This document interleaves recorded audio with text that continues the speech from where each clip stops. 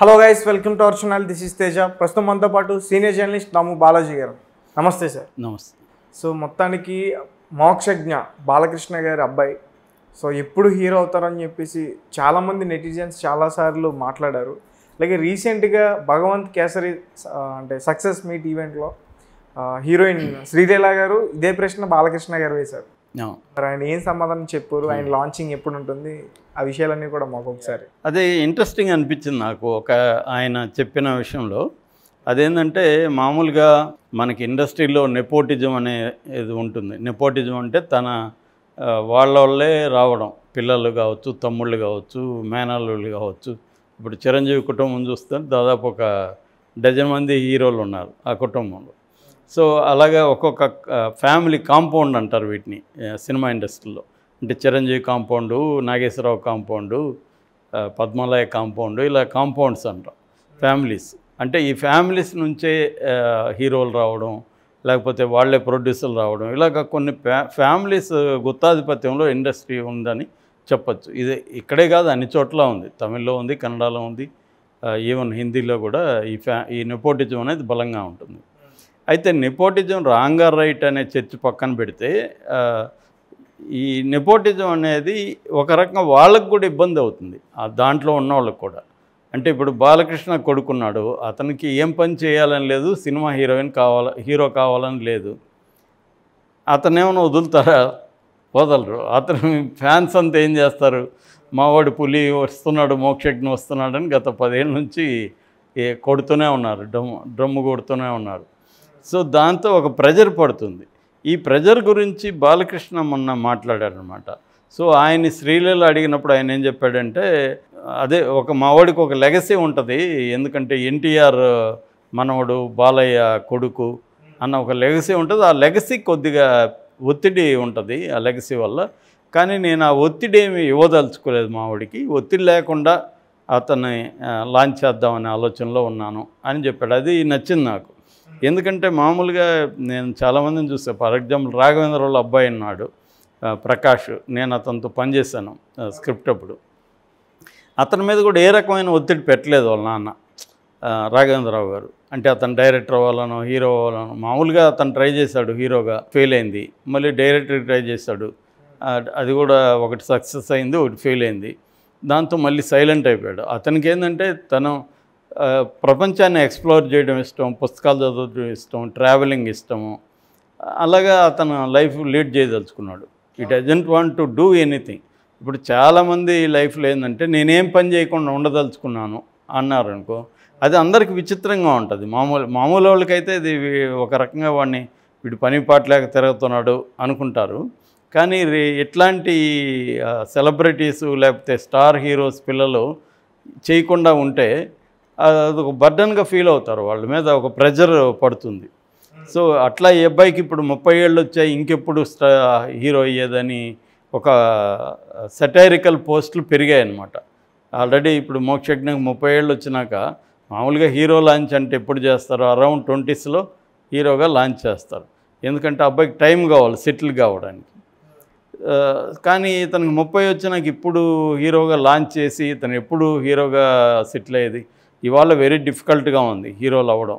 మనం చూస్తున్నాము అఖిల్ అక్కినేని చూస్తున్నాము. ఆ అబ్బాయికి ఎన్ని సినిమాలు ఎన్ని రకాలుగా వచ్చినా ఇప్పటివరకు హిట్ లేదు. దాంతో హీరోగా ఇంకా సెటిల్ కాలేకపోతున్నాడు. అలాగా ఫర్ ఎగ్జాంపుల్ అల్లు శిరీష్ ఇలాగా మనకు చాలామంది చాలా ఎగ్జాంపుల్స్ ఉన్నాయి. సో హీరోగా సెటిల్ కావడానికి టైం పడుతుంది. ఈవెన్ రామ్ చరణ్ అల్లు అర్జున్ లాంటి వాళ్ళు కూడా టైం పట్టింది వాళ్ళకి. హీరో బిగినింగ్లో ఒక సినిమాతో వాళ్ళు అయిపోలేదు. అంటే లాంచ్ తర్వాత వాళ్ళు ఫిజికల్గా వాళ్ళు చేంజ్ చేసుకున్నారు వాళ్ళు ప్లాస్టిక్ సర్జరీస్ చేసుకున్నారు తర్వాత సిక్స్ ప్యాక్ల కోసం కష్టపడ్డారు. ఇవన్నీ హార్డ్ వర్క్ చేశారు డ్యాన్సులు ప్రాక్టీస్ చేశారు. ఇవన్నీ ఇవాళ లాంచింగ్ వరకు పనికొస్తుంది ఏది ఈ నెపోటిజం అనేది. ఆ తర్వాత ఫెయిల్ అయినా కూడా ఒకటి రెండు మూడు నాలుగు ఐదు పెడతారు. అప్పటికి కూడా అవ్వలేదంటే ఇంక ఎవడేం చేయలేడు అప్పుడు ఇంకేం పనికిరాదు అనమాట అంతవరకు నెపోటిజం కావచ్చు లేకపోతే నీకున్న లెగసీ కాబట్టి పనిచేస్తుంది. ఇక్కడ నందమూరి ఫ్యామిలీకి వచ్చే కాడికి నందమూరి ఫ్యామిలీలో ఒక బాలకృష్ణ తప్ప ఇంకెవరు నిలబడలేకపోయారు. నెక్స్ట్ నిలబడింది జూనియర్ ఎన్టీఆర్. జూనియర్ ఎన్టీఆర్ పదిహేడేళ్ళలోనే హీరో అయిపోయాడు. పంతొమ్మిదేళ్ళకే అతను బ్రేక్ వచ్చేసింది. సో ఇప్పుడు ఆ హీ జూనియర్ ఎన్టీఆర్ వల్ల మిగతా వాళ్ళ మీద ప్రెజర్ పడుతుంది. మిగతా వాళ్ళైతే అసలు కాంపిటీషన్లో లేదు. ముందే కానీ బాలయ్య కూడా మా మోక్షజ్ఞ సినిమాల్లోకి రావడానికి అని చెప్పేస్తుంటే అసలు ప్రెజర్ ఉండేది కాదు. కానీ వస్తాడు రే ఈ ఇయర్ వస్తాడు రేపు వస్తాడు ఇలాగ ఇప్పుడు కూడా ఏం చెప్తున్నాడు? నెక్స్ట్ ఇయర్ వస్తాడు అంటారు అంటున్నాడు. నెక్స్ట్ ఇయర్ వస్తే మరి ప్లానింగ్ ఉండాలి కదా. ఎవరు డైరెక్టరు ఏం సబ్జెక్ట్ అవేమి చెప్పట్లేదు మళ్ళీ ఆయన. అదేం లేదు సబ్జెక్టు ఒకరోజు రెడీ అయిపోతుంది నాకు. నా దగ్గర నాలుగైదు సబ్జెక్టులు ఉన్నాయి. ఒక్క రాత్రి చాలు నాకు సబ్జెక్ట్ రెడీ అయిపోతుంది. అని ఈ ఆదిత్య త్రిబుల్ నైన్ అన్న సబ్జెక్టు ఉంది నా దగ్గర. అది వన్ డే నైట్ అలా పడుకున్నాను ఆసువుగా వచ్చేసింది. దాంతో చేసేస్తాను అంటున్నాడు. అలా అలా ఇలా ఉంటుంది. అంటే ఆయన అలా సరదాగా చెప్పొచ్చు కానీ అంటే ఆయన సరదాగా చెప్పలేదు సీరియస్గానే చెప్పాడు కానీ అర్థమయ్యే వాళ్ళకి సరదాగా అర్థం. వాడికి ఇదేంద్రా ఇది? రాత్రిలో సబ్జెక్ట్ నువ్వు ఎలా చేసేస్తావు?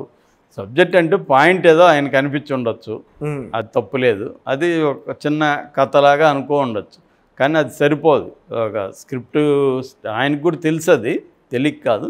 ఆయన అనేది ఏంటంటే ప్లానింగ్ ఏం చేసుకోలేదు అనేది బాటమ్ లైన్ ఆయన చెప్పిన దాంట్లో ఇప్పటికి కూడా నెక్స్ట్ ఇయర్కి కూడా వస్తాడా రాడా తెలియదు కానీ ప్లానింగ్ ఏం లేదు. అనుకుంటే ఈరో రా రేపు షూటింగ్ అంటే నైట్కి స్క్రిప్ట్ రెడీ అయిపోతుంది అంటున్నాడు అంటే స్క్రిప్ట్ గురించి ఆయన ఇది అంటున్నారు అంటే కొంపది ఆయన ఆ, నా ఆయన కథలు- డైరెక్షన్లో వస్తారా? అది కూడా భయపడతా రాస్తున్నాడు నీ డైరెక్షన్లో వస్తే ఫస్ట్ సినిమాలో లాస్ట్ సినిమా అవుతుందని కూడా మీమ్స్ పెడుతున్నారు. నాయన నువ్వు డైరెక్ట్ చేసి పుణ్యం కట్టుకోకూడదు అబ్బాయిది అని చెప్తున్నారు కానీ ఆయన డైరెక్షన్ అనలేదు. కథ అన్నాడు. డైరెక్టర్ ఎవరు అనేది ఇంకా తెలియదు. ఎవరికి ఆ ఛాన్స్ వస్తుందో తెలియదు అంటున్నాడు. ఫస్ట్ ఏమో పూరి అన్నారు తర్వాత ఏమో వినాయక్ అన్నారు లాంచింగ్. మామూలుగా వీళ్ళిద్దరూ చేస్తుంటారు కదా ఇలాంటి పనులు. కానీ ఎక్కువగా అవును సార్ పూరి జగన్నాథ్ పూరి జగన్నాథ్ చేస్తారు. ఒకప్పుడు రాఘవేంద్రరావు చేసేవాళ్ళు. అట్లా ఇప్పుడు పూరి కానీ పూరి ఎందుకంటే రామ్ చరణ్ పూరి పూరి చేశాడు. కానీ ఏ డైరెక్టర్ అయినా సరిగ్గా టేకప్ చేయకపోతే వాళ్ళకి దబిడి దిబిడేసారు దబిడి దిబిడే. ఎందుకంటే ఆ అబ్బాయిని చూస్తే ఆ అబ్బాయికి ఆ హీరో అవ్వాలని కోరుకున్నట్టుగా ఏమాత్రం కనబడట్లేదు. తన బాడీ ఫిజిక్ కానీ తను ప్రజెంటేషన్ కానీ మామూలే అమద్యంత ఇప్పుడు కొద్దిగా పొట్ట తగ్గినట్టు ఉంది కానీ అమద్యంత పొట్టేసుకొని ఫోటోలు రిలీజ్ అయినాయి. సో వాళ్ళ నాన్నతో కూడా ఎక్కడ ఉండడం అది కూడా ఎనర్జెటిక్గా కనబడ్డా అతను. మేబీ అతనికి ఇంట్రెస్ట్ లేకపోవచ్చు.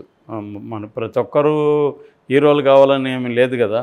తనకి తనకు నచ్చినట్టుగా తన లైఫ్ని లీడ్ చేసే ఇది ఉంది. నేను అనుకోవడం బాలయ్య కూడా ప్రెజర్ చేయట్లేదు అతన్ని. ప్రెజర్ చేస్తే ఏదో ఒకటి చేసి అతను అతన్ని ఎక్కడో చేర్పించి యాక్టింగ్ స్కూళ్ళల్లో ట్రైనింగ్ ఇచ్చి ఫిజికల్గా ట్రైనర్ని పెట్టి ఇవన్నీ చేసేవాడు కదా. ఆ రకంగా బాలయ్య నచ్చాడు నాకు ఆ విషయంలో. అంటే ప్రెజర్ చేసి పిల్లలకి ఇష్టం లేని పనులు చేయించి ఒక ఇమేజ్ కోసం అట్లాంటివి చేయట్లేదు అతను. కా- కాకపోతే ఇంక అడిగినప్పుడు ఏదో చెప్పాలి కాబట్టి చెప్తున్నాడు. అది కూడా అతను చెప్పకుండా ఉంటే ఆ ప్రెజర్ కూడా ఉండదు. అంటే మా వాడికి ఎప్పుడు వస్తే అప్పుడు వస్తాడు మీ ఏమిటి దాని గురించి ఏముంది అనేసి చెప్పేయచ్చు అతను. కానీ నెక్స్ట్ ఇయర్ నెక్స్ట్ ఇయర్ అని చెప్తూనే ఉన్నాడు. దానివల్ల ఫ్యాన్స్కి ఎక్స్పెక్టేషన్స్ పెరుగుతూ ఉంటాయి అన్నమాట okay sir thank you so much thank you